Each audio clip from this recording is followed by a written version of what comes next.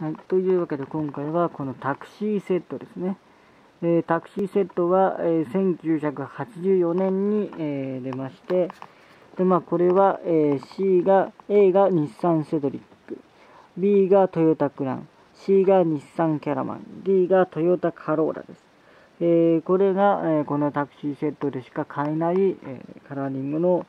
え仕様の、車です。特にこの C のキャラバンのタクシーというのは珍しいんじゃないかなと思います。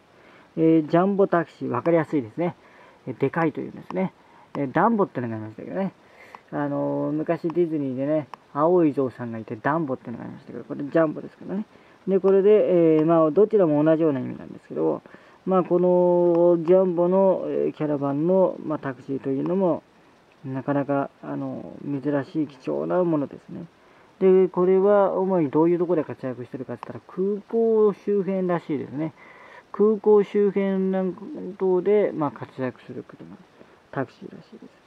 ですから、まあ、なかなかその駅前とかではあんまり見かけないかなという感じですね。で、まあ、こういうふうに佐藤タクシーとかね、えー、そういうふうなところが書いてあるところも、やはりこう、面白いですね。こう、自家用って書いてあるから佐藤さんのタクシーなんですよね。だから佐藤タクシーという感じで、ね、こういうところなんかもなかなか面白いなというところでございます。どうもありがとう